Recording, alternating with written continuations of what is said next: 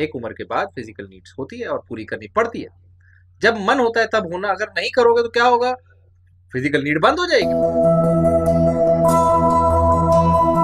The internet is full of bro science, fake knowledge, half information, or propaganda. Your quest of reliable, authentic health information ends here. So, subscribe this channel and hit the bell icon, and you never have to go anywhere else ever again. बहुत सारे patients आते हैं जिनकी शादी भी नहीं हुई, कभी एक्चुअल सेक्सुअल एक्सपोजर भी नहीं हुआ और पिछले कोई महीनों से मैस्टरबेशन भी बंद कर रखा है, मगर उन्हें लगता है उनको इरेक्शन होगा ही नहीं। तो वो आते हैं दवा लेने। फिर हम कहते दवा लेके करोगे क्या? मैस्टरबेशन आपने करना नहीं है, शादी हुई नहीं है। तो फिर करोगे क्या? दवा लेके क्या करोगे? ये क्या बात है? है कि नहीं? So we are talking about erection problems कई सारे लोग एक्चुअली इरेक्शन प्रॉब्लम से गुजर रहे हैं और कई सारे लोगों को सिर्फ़ लगता है कि उन्हें इरेक्शन प्रॉब्लम है, लेकिन नहीं है। कई सारे लोग आते हैं जिनको या तो इरेक्शन एक आधी बार नहीं हो पाया, या एक बार एम्बेरस हो गए, उस वजह से। Let me tell you a story तब आपको सिम्टम समझ में आएगा और सही कारण समझ में आएगा, देखने का नज़रिया आएगा। बेसिक ये एक्चुअली बात लिटरली हर जो पेशेंट यहाँ आके बैठता है हमारे पास क्लिनिक में, हम उसे बताते हैं कि क्या आप क्रिकेट खेलते हो? मान लीजिए आप क्रिकेट खेलते हो बढ़िया खेलते हो अच्छा खेलते हो और अच्छे खेलने वाले को फिर आगे और बड़ी टीम में लिया जाता है और बड़ी टीम में लिया जाता है। आप, आप रणजी खेल लिए आप बढ़िया खेल लिए और एक दिन आपको मौका मिल गया इंडियन क्रिकेट टीम में खेलने का। भाई साहब और आप गए बल्लेबाजी करने सबसे पहले और पहली ही बॉल में आप हो गए बोल्ड। क्लीन बोल्ड पूरा मिस। बताइए। तो कैसा लगेगा आपको? कैसा लगेगा आपको? सोचिए। बहुत ज़्यादा बुरा लगेगा।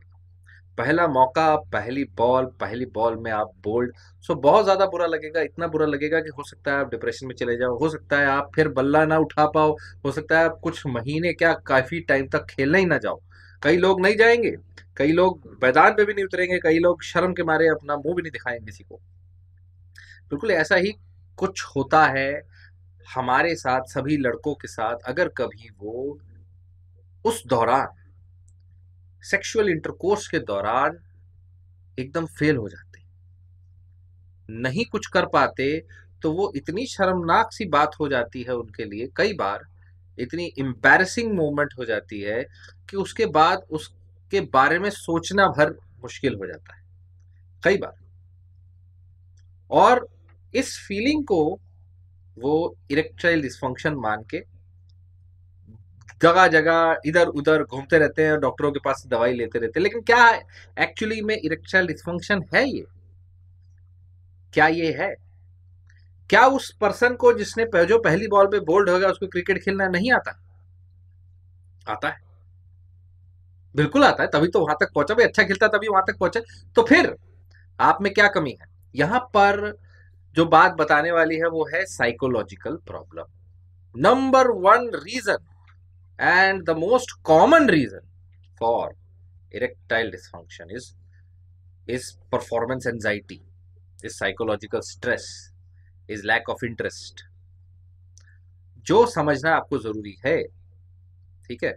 ऐसे भी लोग हैं जो बुढ़ापे तक जवान रहते हैं। ऐसे भी लोग हैं जो बुढ़ापे तक बच्चे पैदा करते हैं पुराने ज़माने में हज़ार हज़ार रानियाँ होती थी राजों की और पता नहीं कितने कितने कितने बच्चे होते थे। सो so, ऐसा तो है नहीं कि पुराने ज़माने में ही होता था ये सब आज के ज़माने में नहीं। So yes there is a big part of the disease which is there in your mind ठीक है? बाकी बीमारियाँ ज़रूर बाहर हो सकती हैं। तो सिम्टम नंबर वन जो है वो दिमाग में होता है कि मैं नहीं कर पाऊँगा। That is the most biggest symptom biggest sign जो आपको देखना है कि अगर आपको ऐसा कुछ हुआ है, उसके बाद से ऐसा लग रहा है तो चिंता मत करिए। और दूसरी तरीके के कैटेगरी में लोग आते हैं, जिनका कभी एक्चुअल प्रॉपर एक्सपोजर ही नहीं हुआ।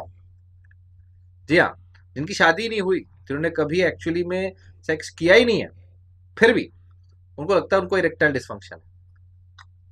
क्यों? क्योंकि उन्होंने थोड़ा ज़्यादा मैस्टरबेट कर लिया, क्योंकि उन्होंने थोड़ी ज़्यादा वीडियो देख ली, थोड़े ज़्यादा लोगों की बात सुन ली कि मैस्टरबेशन खराब है और मुझसे हो गया पाप और मैंने पिछले छह महीने से नहीं किया है, लेकिन अब मैं अब मेरा इलेक्शन ही नहीं होता।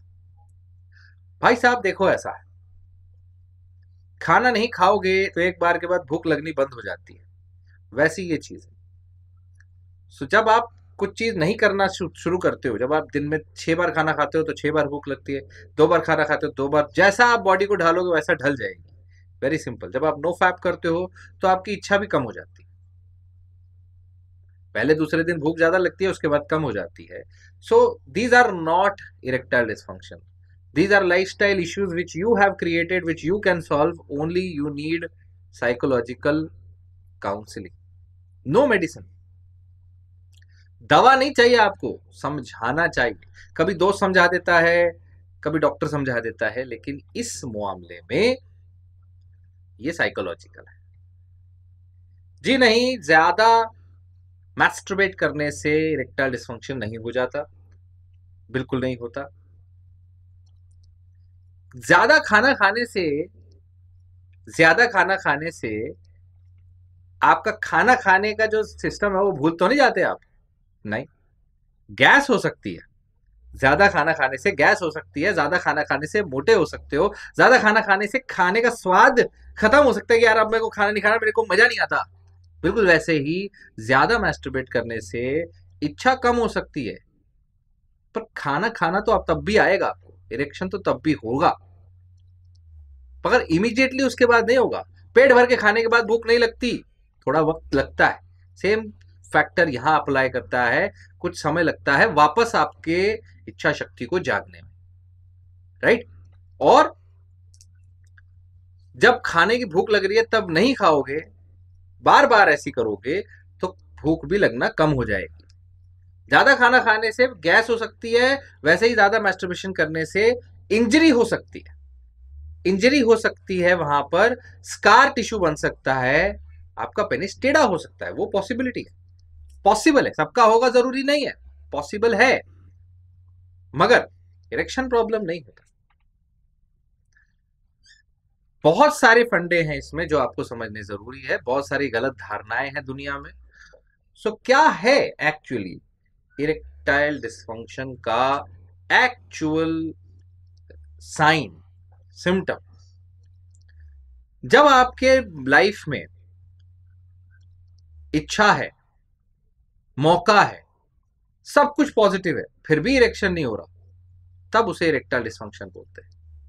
ये नहीं कि आज तक आप मैदान में नहीं खेले सिर्फ़ घर में नेट प्रैक्टिस कर रहे हो और आप बोलोगे सर मेरे से खेला नहीं जाता क्रिकेट मैदान में जाके। ऐसा नहीं होता। सो so, जब तक आपकी एक्चुअल मैरिज नहीं होती तब तक हम ये नहीं कह सकते नहीं मेरे को इरेक्शन आएगा ही नहीं आएगा। नहीं। You haven't been expose to that scenario obviously if you are sexually active तो अलग बात है। किसी और कारणवश। So sign of actual sign of erectile dysfunction से ज़्यादा ज़रूरी हमें ये जानना ज़रूरी है कि कौन सा चीज़ इरेक्टाइल डिस्फंक्शन कम साइकोलॉजिकल प्रॉब्लम ज़्यादा है। साइकोलॉजिकल प्रॉब्लम ज़्यादा है। तभी हमें इरेक्टाइल डिस्फंक्शन को ट्रीट करने के लिए जो बेसिक दवाइयाँ हैं, सिर्फ़ ऐसे नहीं कि सिर्फ़ वाइग्रा ले लो, सिर्फ़ टेडालाफिल ले लो, सिर्फ़ सियालिस ले लो, उससे सब कुछ हो जाएगा, नहीं। सिर्फ़ आर्जिनिन ले लो, सिर्फ़ सिट्रोलिन ले लो, नहीं। So you have to first find out कि उस पर्सन को ऐसा क्यों हुआ?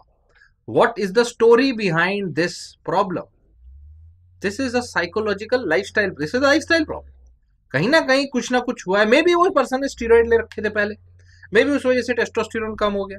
मे बी उसको थायराइड प्रॉब्लम हाइपोथायराइड में भी वज़न ज़्यादा हो गया एस्ट्रोजन बढ़ गया मे बी टेस्टोस्टेरोन एक्चुअली कम हो गया मे बी टेस्टिकुलर एट्रोफी हो गई मे भी उनकी वहाँ पे टेस्टिकल्स के वेन है वेन्स में वेरिकोसील हो गया maybe there are so many reason हमने ऑलरेडी बात की हुई है इरेक्टाइल डिस्फंक्शन के वीडियो में what are the causes of erectile dysfunction यहाँ बात हो रही है what is not erectile dysfunction यहाँ बात हो रही है what is how to know whether you have erectile dysfunction or not, whether you have to go to a doctor or not. ठीक है? मनोबल सबसे ज़रूरी है। मनोबल। And it's very important to feed your body food when it needs भूख लग रही है तो खाना खाना ज़रूरी है। दिन में नहीं तो कम से कम तीन दिन में एक बार तो खाना खाना ज़रूरी है। टापुओं में भी कले जाओगे तो भूख तो लगेगी, भूख लगेगी तो ज़िंदा रहने के लिए कभी ना कभी तो खाना पड़ेगा। Same thing same thing here physical needs आपको बॉडी की पूरी करनी पड़ेगी। एक उम्र के बाद फ़िज़िकल नीड्स होती है और पूरी करनी पड़ती है। जब मन होता है तब होना, अगर नहीं करोगे तो क्या होगा? फ़िज़िकल नीड बंद हो जाएगी। वेरी सिंपल फिर कभी फ़िज़िकल नीड शुरू हो सकती है बिल्कुल हो सकती है। इसका मतलब ये नहीं है कि आपके अंदर कोई मेजर बीमारी है। सो so, ये हुई बात कि what is not erectile dysfunction so बहुत सारे पेशेंट्स आते हैं जिनकी शादी भी नहीं हुई कभी एक्चुअल सेक्सुअल एक्सपोजर भी नहीं हुआ और पिछले कोई महीनों से मैस्टरबेशन भी बंद कर रखा है मगर उन्हें लगता है उनको इरेक्शन होगा ही नहीं। तो वो आते हैं दवा लेने। फिर हम कहते दवा लेके करोगे क्या? मैस्टरबेशन आपने करना नहीं है, शादी हुई नहीं है। तो फिर करोगे क्या? दवा लेके क्या करोगे? ये क्या बात है? है कि नहीं? जब तक आपका सामने मैदान नहीं आता है, जंग का मैदान नहीं आता है, तलवार लेके क्या करोगे? That is the idea that is the idea so ये बातचीत हुई। सो साइकोलॉजिकल पॉइंट पे ध्यान देना है। Right and if you really feel that नहीं साइकोलॉजिकल मेरा ठीक है, लेकिन फिर कुछ ना कुछ फ़िज़िकल प्रॉब्लम है, कुछ ना कुछ और प्रॉब्लम है then we go to a doctor तब डॉक्टर के पास जाना है, बात करनी है, वही हम करते हैं, फिर यही सारी हिस्ट्री निकाली जाती है और फिर इलाज किया जाता है इरेक्टाइल डिसफंक्शन का you can watch my video on erectile dysfunction and give your views and understand more about this condition. All right. Thank you so much.